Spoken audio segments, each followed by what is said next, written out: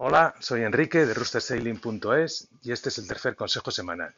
Examina el campo de regatas cruzando bordos con un amigo. Los días de regata queda con un amigo para ir pronto al agua y en las inmediaciones de la línea hacéis una salida tipo liebre, navegáis ciñendo en bordos opuestos durante dos o tres minutos, miráis los dos a la vez y comprobáis quién cruza por prueba.